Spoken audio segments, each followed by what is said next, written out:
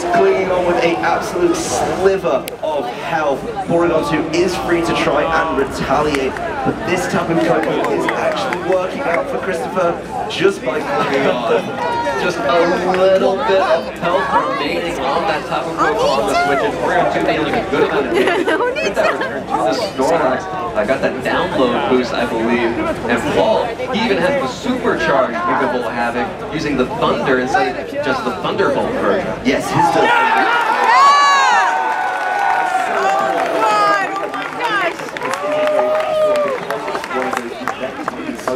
and losing out on that speed type is going to give the first Pokemon advantage to Paul.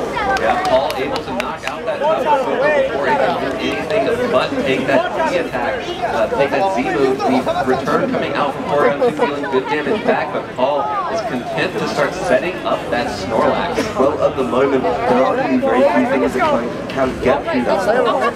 Porygon 2 isn't exactly known for its really high damage output. The Arcanine trying to help out a little bit, by bringing the Intimidate and making the attack part of the boost from Curse not so useful, but the defense part is going to be so, so valuable, especially if Christopher has got his own Snorlax in the back.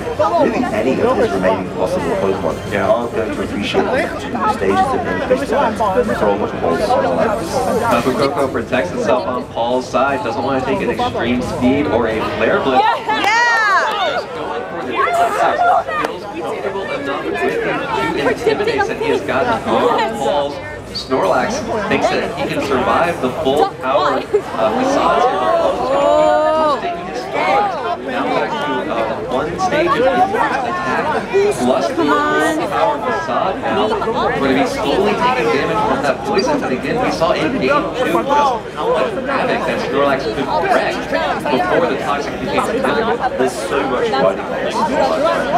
Using his instinct around, you do have to question if Christopher has something that could reliably take a knockout. Of course, if it lets it stick around, there is going to be the activation of the battery, even with just damage from the poison between turns. Christopher doesn't want to get hit by one of these full power facades though. All right, top of Oh, yes. Recover. Looks like his plan right now is to just stall, stall, stall, and try to get those toxics to start. All of that damage from the full power facade, more than 50%. That makes the recover basically useless as an option here for that Porygon 2. It didn't even get to recover the full amount, but Yeah. it got itself back up to about 100%, was already above 50. This Porygon 2 dealt with, put by this Snorlax. We do see the very activation, so City again just shy of its full amount of health. Only more, the Arcanine is certainly going to struggle there. A very smart time to but you didn't let the Arcanine and not follow up with an attack into that slot. All right, well, Tapu Koko's Thunderbolt isn't enough to pick up the KO onto Porygon 2. We're trying to get some damage down with that Flare Blitz, but three stages of defense boost, the Flare Blitz and the Porygon 2 returns, just not doing it.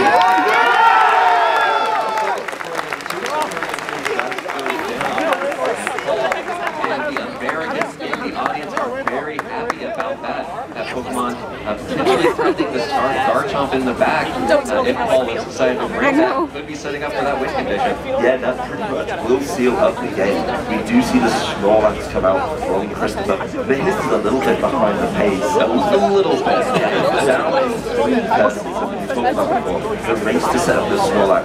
Paul has comfortably won that. He's got the curses in play. There's no special attacks and there's no reliable way to try and deal with this Snorlax now. It's likely to get into work and recycling it's not. And at the same time, Tapu Koko, without the electric terrain, is going to be able to start working on things. Going to want to get that back. He did bring to this game. Yep, Paul did bring the get Oh. for its troubles on the switches. I trust you. Uh, not the not the worst thing to have happen. It's to avoid any kind of intimidate thanks to all of the work that Paul's other Pokemon have put in beforehand. Christopher now trying to catch up with those curses. Will is even on the attack front, but nowhere close to the defense front. That is more than 50% damage dealt by with that facade.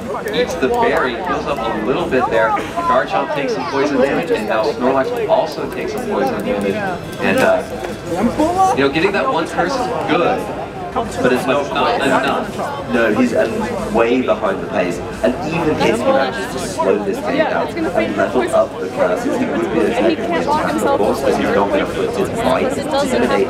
He's still going to struggle to get there, and he's not going to be able to do as much damage because there's no status condition to power up his facade. I mean, just see what Paul Thompson can here with this Garchomp. If he goes for Earth, but he will do a lot of damage. Be getting off now on this side. It will be even closer because of the defense boosters and the calculation. The only Paul is going to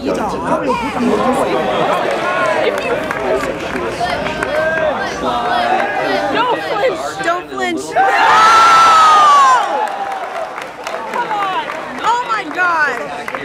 flinches, but Snorlax able to get the berry off. Paul will go for another facade onto Snorlax, and again dealing more than 50% damage there. So Snorlax, even though it's recovering with those berries, uh, not actually being able to save hit points. Well, the chances of Christopher winning this game get slimmer and slimmer. No. This is from Paul, knowing that it's not so stuck. It is going to be stuck in some stitches and eventually. He'll be like, "Get outta here." Get this damage out with Rockslide. You saw how much it did to this Arcanine. Getting the flinch is absolutely Rockslide can miss though. It can also miss. The real problem is, of course, how far behind. Does it have extreme speed? Snorlax. Better. Oh. I don't know if it does. What does, maybe try to switch the Garchomp out, then he'll be forced to come in alongside something. I think Rockslide is probably not premium play, just going to keep going for it. And those potentials for flinches are going to stop his opponents. No extreme speed or anything, just rock slide. Arcanine recovering up its hit points with that berry. Going to be able to take another one of those. Tapu Koko goes for the Thunderbolt, is going to target down the Snorlax easily. The threat. Facade, Arcanine gets the Flare Blitz off. Snorlax really needs a recycle right now. Flare Blitz will be enough to pick up the KO. Please don't, please don't paralyze. Don't be paralyzed. Don't be paralyzed. Don't be paralyzed. Yes! Woo! Big move by that Snorlax. It's a really good time to get a recycle and be able to do more. Obviously, he wasn't expecting paralysis and didn't think to look for that facade. For its monstrous now, he is in a position where he can probably avoid some rock slides attack through the rocks. But if he gets attacked, okay. then doesn't need to do a full rock count amount of damage. All he needs to do is just get it low enough. So much toxic poison is going to be doing it more because there's no way for him to reset using the accurate in some people.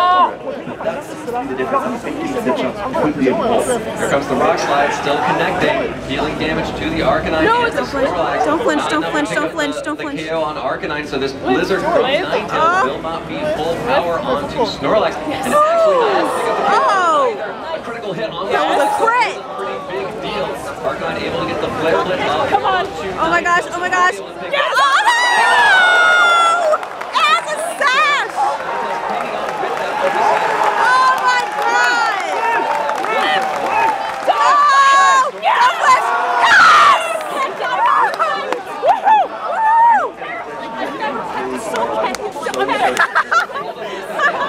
Really difficult. Of course, the hail damage is going to wear down this Garchomp. Oh, the toxic God. poison is going to be doing more and more every single turn. Oh my gosh. Free country. Yeah. It's a free card. He needs a flinch, and he needs it. Don't do that. Don't, don't. Oh my gosh. If Snorlax is able to Come on. No! we could see it. We saw how it Come on, Chris. Oh! Don't flinch. No flinch. targets. There's the Blizzard, full power Blizzard this time. Ninetales gets it off Snorlax. Yes! Yes! Eats up that berry. Heals up to 50% health. The toxic ticks down. Oh my god. And Ninetales not going to be enough all by itself. Told you has, doesn't have the damage. Australia's gonna sweep. There is the with the toxic poison. The toxic makes it in Oh my gosh! Oh my gosh! Captain, save the planet! Oh my gosh! is going to fall to the big It's a big Oh my gosh! that could stick it around.